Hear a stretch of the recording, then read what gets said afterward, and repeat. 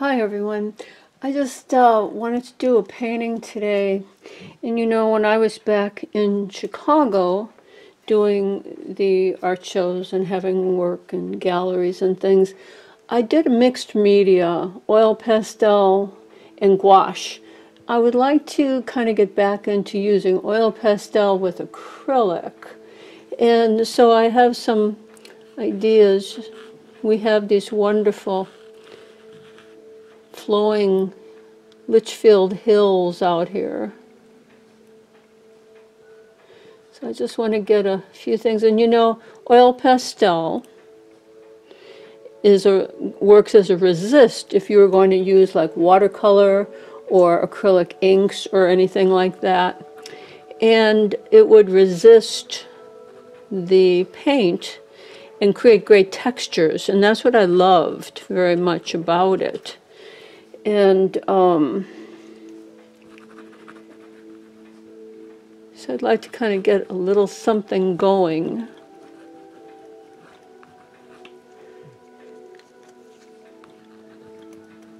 You blend oil pastels with, with a white or another color over it. You can get all kinds of things going. I like them because they're very earthy.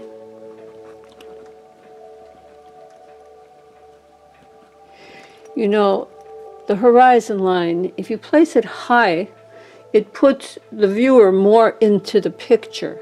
There's more going on down here.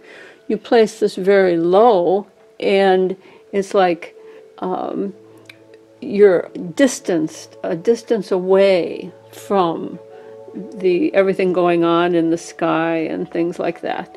So it's kind of a an interesting kind of a thing. We have a bit of green happening in things. I'd like to carry through some of these colors in other places. I'm not sure exactly what's going to be going on down here. We have rivers. We live in kind of a river town and we have all kinds of things happening. Layers and layers. And things far off in the distance would be paler and wouldn't have a, as distinct an edge on it. So I'd like to get kind of that kind of a feel, not, not a real distinct edge. Edges are really important, you know, they attract your eye and, and things like that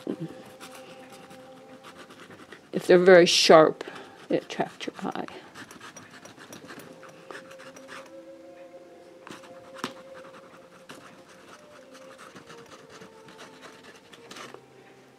Kind of thinking something.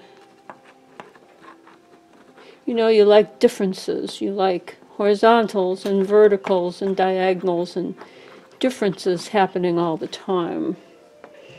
So I was looking, trying to, you know, it's good to work from a photo, a picture of something. I couldn't really find anything that attracted my eye, so I'm just going to work with the colors that draw me in.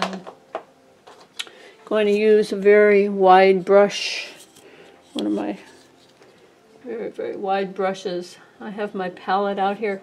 I'm thinking that I would like some, I think the color I'm looking for is an ultramarine, but very pale, kind of like an icy color, mixed with titanium white.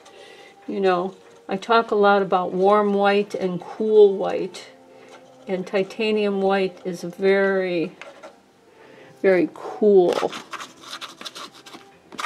And you want to do things and put things in with different tools. Like a palette knife would do a whole different thing than a brush would. And then with my brush, I want to get kind of a very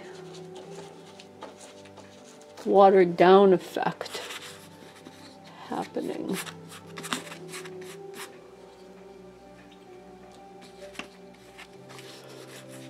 I like drips. I like things that happen accidentally. You know, you put in color. This is a baby wipe. You take out color. You get different kinds of strokes going. Holding your brush in a different way. These are the things that we're going to be doing in our monthly, you know? We want to make it fun. We want to make it trying different things, trying different things. See what we like.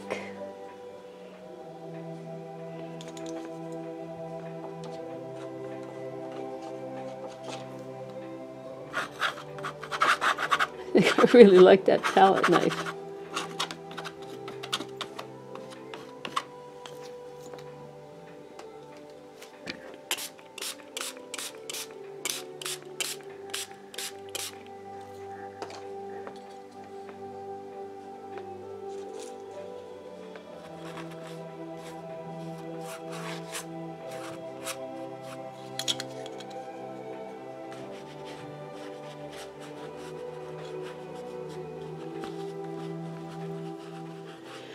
Baby wipe is a good way to get color going on a large area.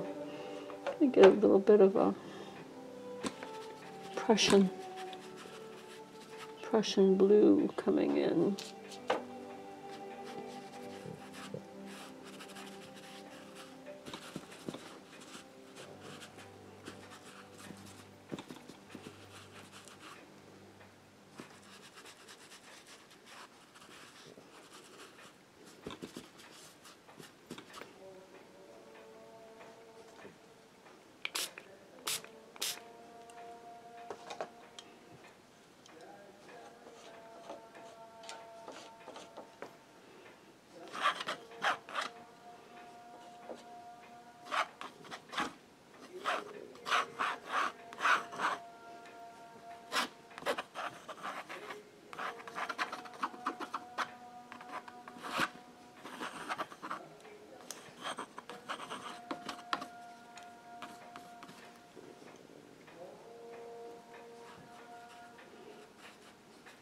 Your strokes are your mark.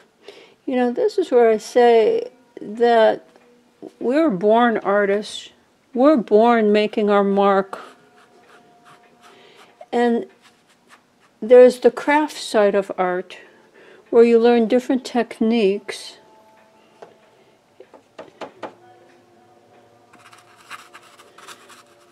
Different brush you learn different techniques and you can practice different techniques. And that's the craft side, you know? You learn skills. Anybody can learn skills. You practice skills enough and you get better at them. That's the craft side of it. Then, when you tune into your own personal kind of um, intuition, and you make something from that, something no one's ever seen before, then you start to get into the art of it. You start to get into what what makes it original, what makes it unique.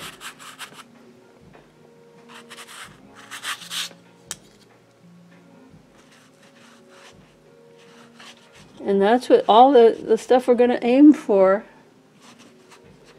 in the monthly classes.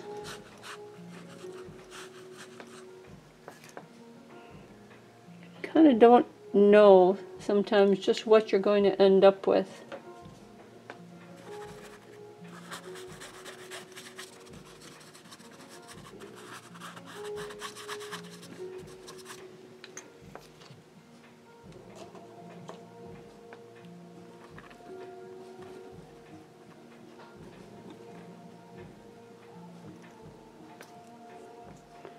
love texture.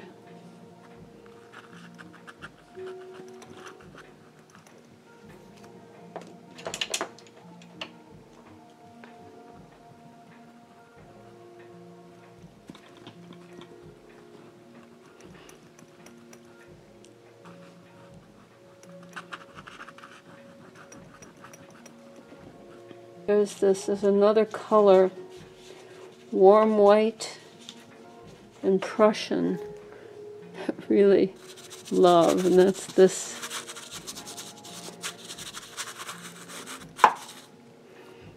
It's this down in through here. Ooh, you know, let things happen. Let things happen.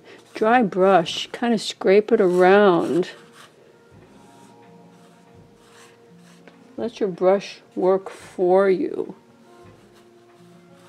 and create things.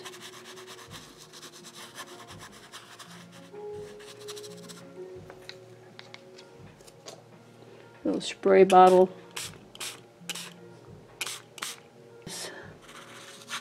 Kind of blending.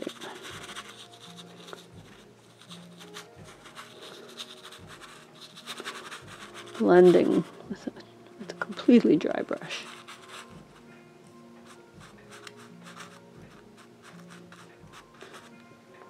I've been finding myself drawn to a lot of water paintings.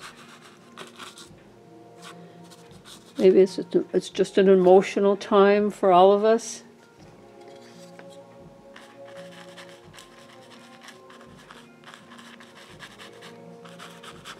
But sometimes you just have to play, not know just what you're going to come up with. I also very much like to mix my own greens with yellow and blue.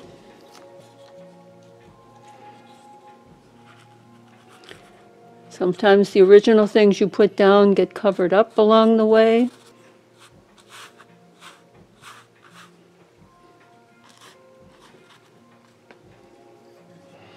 You want something that's interesting everywhere you look.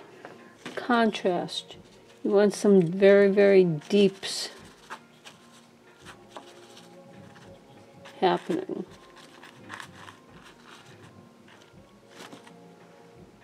Contrasting from other things happening.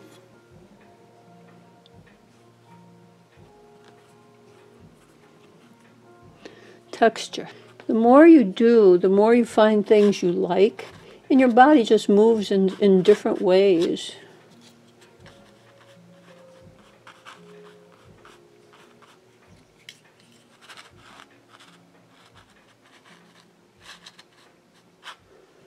and things start to look like other things.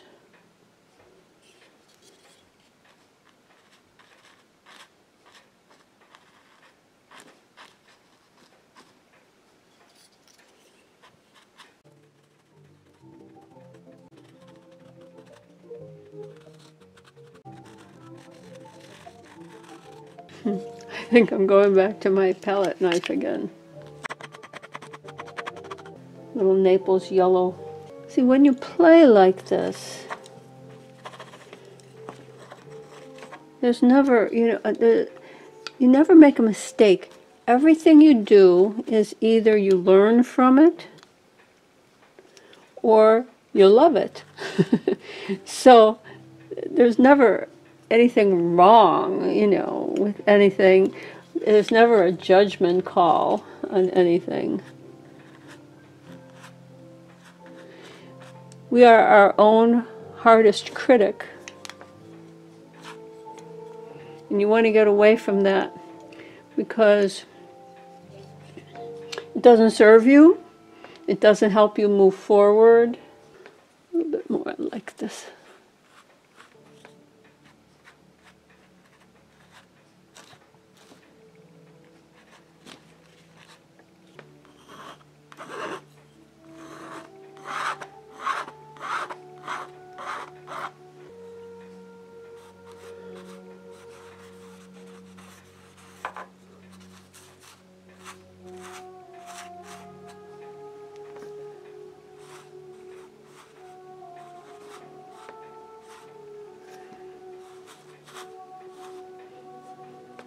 Ooh, smashing that brush kind of makes it looks kind of like waves or something.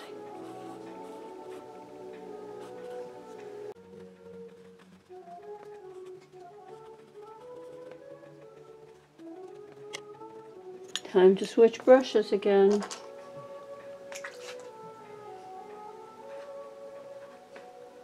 You don't want everything to look the same. You don't want the same strokes.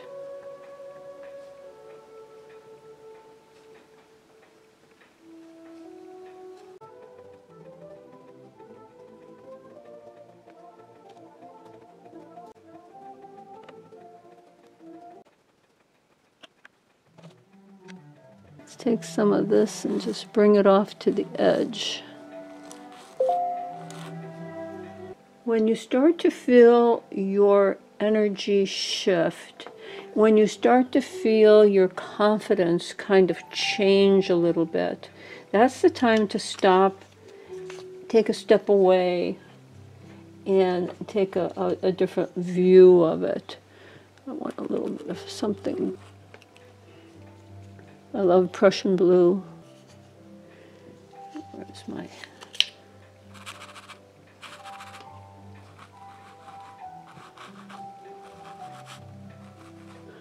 blending brush green. I'd like to carry some of that green in, a little bit green deeper. Things closer to us would have a bit more detail, have a little deeper tone. And then you know what you want to do. You want to take a step away from it, take a picture of it with your uh, iPhone and that gives you a whole different perspective. And then you'll be able to see what it needs. If it needs a little bit more oil pastel, if it needs a little deeper, darker tones, things like that. I decided to do more with that ultramarine blue and cool white. And just kind of fill this all in through here.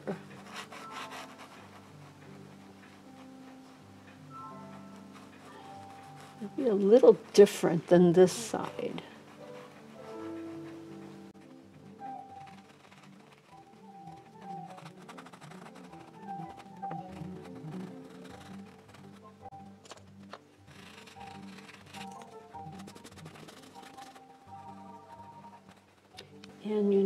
There's something about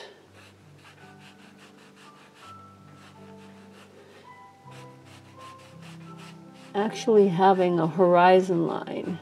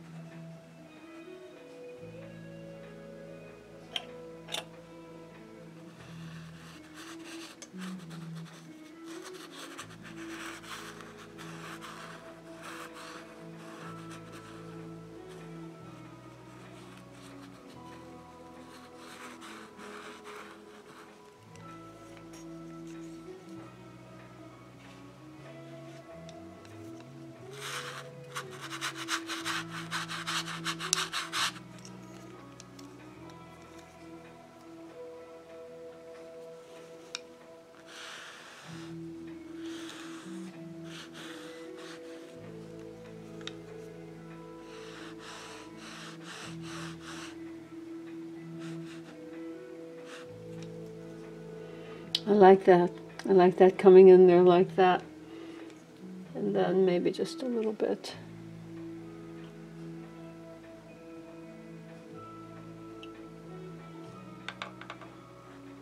Instead of that whole big bush like that.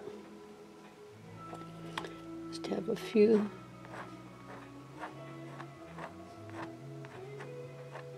things coming in.